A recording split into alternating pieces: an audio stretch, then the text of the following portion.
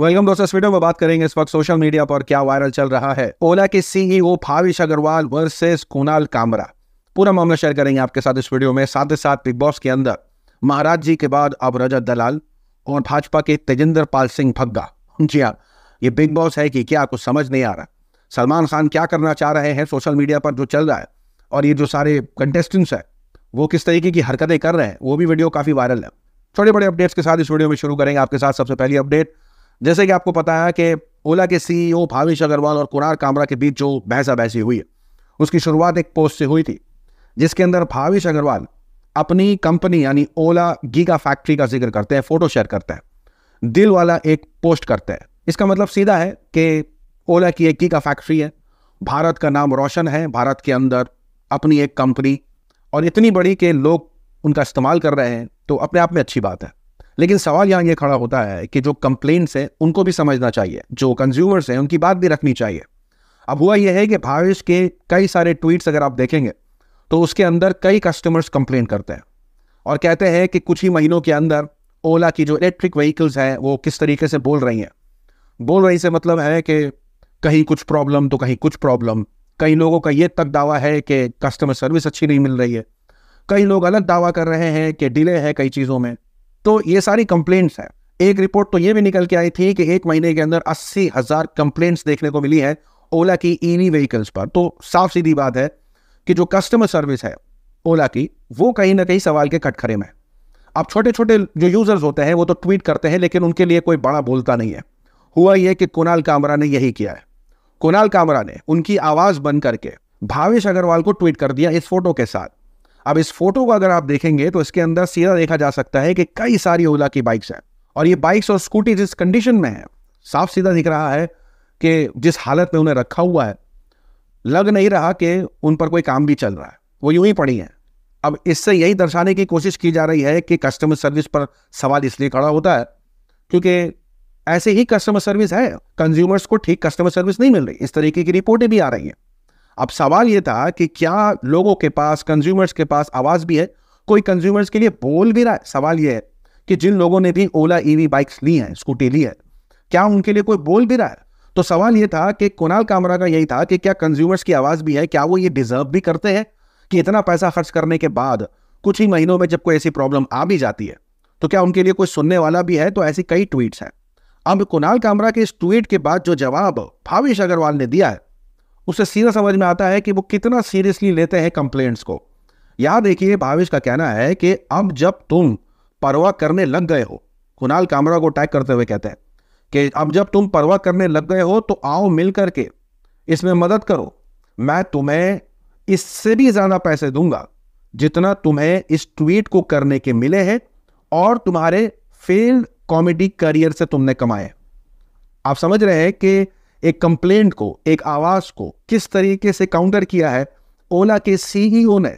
इससे साफ़ समझ में आता है कि वो कितना सीरियस है उन कंप्लेंट्स को लेकर के। तो कुणाल कामरा के उस ट्वीट का जवाब वो ऐसे देते हैं। आगे लिखते हैं कि अगर तुम ऐसा नहीं कर सकते, यानी मैंने जो ऑफ़र दिया है वो नहीं ले सकते तो चुप से बैठो। हमें फोकस करने दो कि हम इशू को कैसे रिजॉल्व करें। रियल कस्टमर्स के। हम एक्सपेंड कर रहे हैं अपने सर्विस नेटवर्क बहुत जल्दी। सब ठीक हो जाएगा। अब यहाँ पर तो कई ऐसी वीडियोस हैं, ट्वीट्स हैं, जो लगातार सोशल मीडिया पर फैल जाते हैं, जहाँ लोग बढ़ चढ़ करके अपने ओला ईवी, जो बाइक, स्कूटी है, उसकी कंप्लेंट करने लग जाते हैं कि कैसे उनके साथ क्या कंडीशन है, बाइक दिखाने गए तो वहाँ कस्टमर जो कह रहे हैं उन्होंने क्या जवाब दिया। ये सारा एक्सपीरियंस वो शेयर करने लग जाते हैं कुणाल और भाविश के पोस्ट के नीचे। और सैलाब सा आ जाता है। जी हाँ कंप्लेंट का सैलाब सा आ जाता है। कई लोग लगातार इस तरीके की फ़ोटो, वीडियो शेयर करने लग जाते हैं। सीधा कहते हुए कि किस तरीके की कंडीशन में उनकी ओला ईवी है और अभी तक बनी नहीं है। उनको टाला जा रहा है, किसी की कंप्लेंट है कि कंप्लेंट ही नहीं ली है, यानी सीरियस नहीं है कोई। और इसका मतलब ये नहीं है कि देश भर में इस तरीके के हालात हैं। बिल्कुल हो सकता है कि एक तरफ़ बिल्कुल कस्टमर सर्विस सही होगी। लेकिन एक तरफ़ ऐसे भी लोग हैं जो कंप्लेन करते रह जाते हैं, उनकी कोई कंप्लेंट नहीं लेने को तैयार, या अगर ले भी ली है तो उसमें इतना डिले हुआ है कि उनको अभी तक काम हो करके नहीं मिला।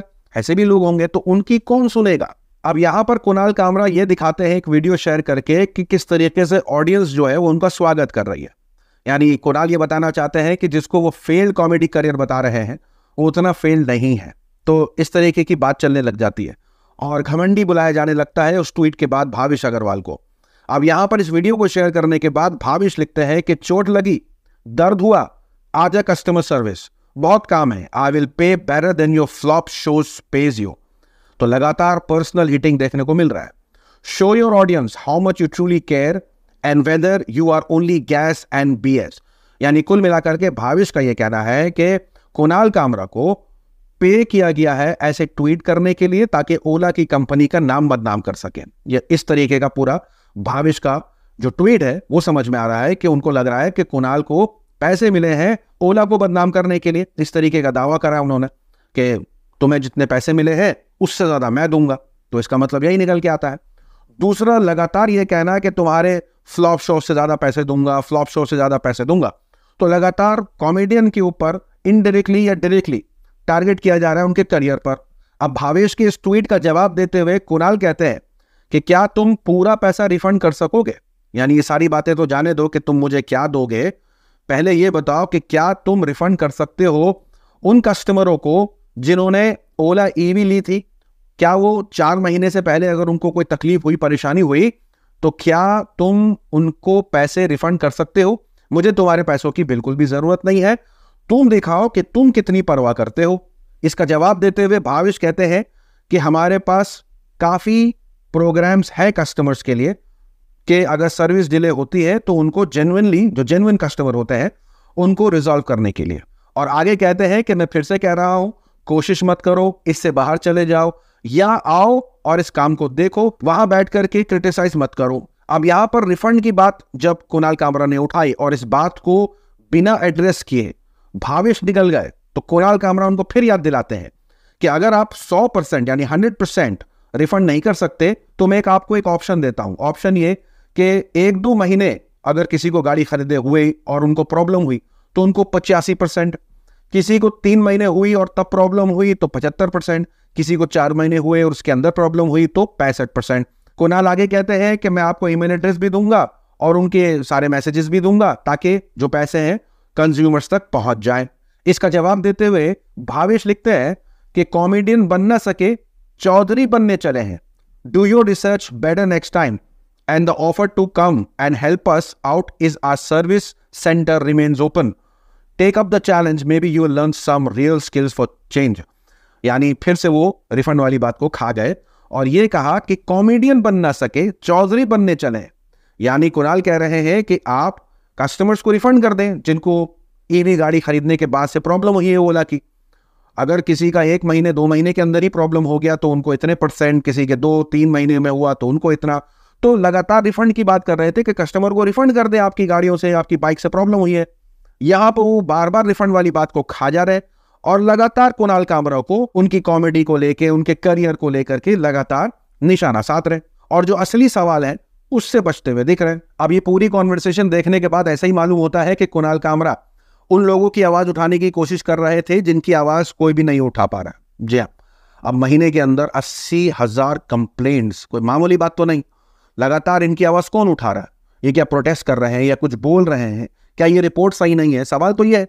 और जिस तरीके से भाविश जवाब दे रहे हैं, इसे साफ़ समझ में आता है कि वो अपनी कस्टमर सर्विस को कंप्लेंट्स को किस तरीके से देखते हैं।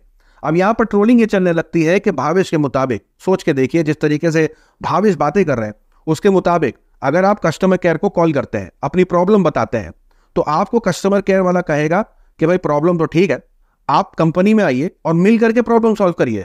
कोई सेंस है इस बात की? बिल्कुल भी सेंस नहीं है।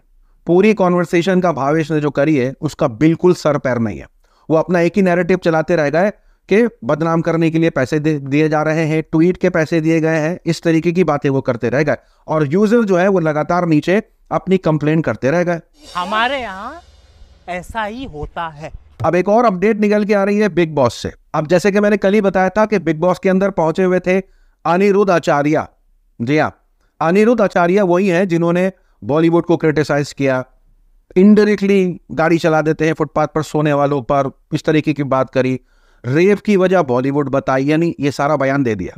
आज जितने रेप हो रहे हैं ये रेप करना सिखाया किसने? बॉलीवुड ने? ये तो फुटपाथ पर सोने वालों के ऊपर गाड़ी और चढ़ा देते हैं। और उसके बाद खुद उठ के चले गए। तो सोशल मीडिया पर तो पहले यही चला कि एक अच्छा तरीका हो गया है कि पहले क्रिटिसाइज करो और फिर जो है फेम कमाने के बाद वापस से वहीं चले जाओ जहाँ क्रिटिसिज्म कर रहे थे जिसका क्रिटिसाइज करके जो नाम कमाया आप फ़ेमस हुए वहीं पहुँच जाओ। अब तो ये भी खबर आई है कि रजत दलाल भी पहुँचे हुए और तो और बीजेपी के जाने माने जी हाँ स्पोक पर्सन तजेंद्र पाल सिंह भग्गा काफ़ी वायरल रहते हैं ट्विटर पर और किस तरीके से वो हिंदू, मुसलमान और विपक्ष पर जो निशाना साधते रहते हैं, वो लगातार देखने को मिलता है। अब सवाल ये है कि इनको बुलाने का क्या मकसद हो सकता है? सोशल मीडिया पर यह समझा जा रहा है कि इनको बुलाने का मकसद यह है कि दुनिया को दिखाया जाए कि ये कैसे हैं, असलियत में कैसे हैं, हकीकत क्या है इनकी? क्योंकि बिग बॉस का जो पूरा सेटअप देखने को मिल रहा है, लगातार वो इन्फ्लुएंसर्स को बुला रहे हैं। और उनसे उनको काफ़ी रीच मिल रही है टीआरपी मिल रही है, इसमें कोई दो राय नहीं है।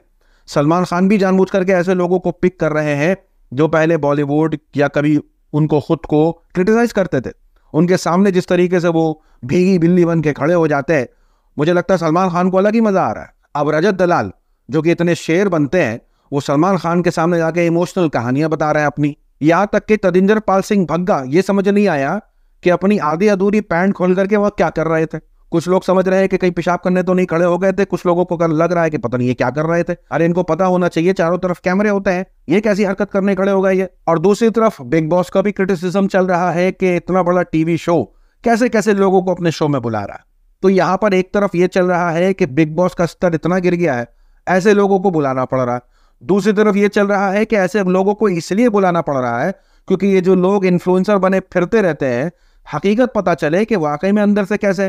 क्योंकि जब 24 घंटे इन पर कैमरा होगा, इनकी हर एक बात रिकॉर्ड होगी, इनका हर एक अमल, इनका हर एक काम जब रिकॉर्ड होगा तो समझ में आ जाएगा कि ये जो इन्फ्लुएंसर बने, फिरते हैं, क्या वाकई इस लायक है कि लोग इनको फॉलो करें? अब आप मुझे बताइए कि इन लोगों को बुलाने का क्या मकसद है? क्या बिग बॉस जो है, उसका स्तर इतना गिर गया है जिस वजह से इनको बुलाया जा रहा है? या कोई एक चाल चली जा रही है, जिनको भी ऐसा देखा जा रहा है, जो कॉन्ट्रोवर्शियल इन्फ्लुएंसर है, नफरती इन्फ्लुएंसर है, उनको बुला करके उनकी जगह दिखाई जा रही है। आपको क्या लगता है? कमेंट में अपनी राय ज़रूर बताइए। मिलूँगा आप सभी से अगले वीडियो में। तब तक के लिए अपना ख्याल रखें।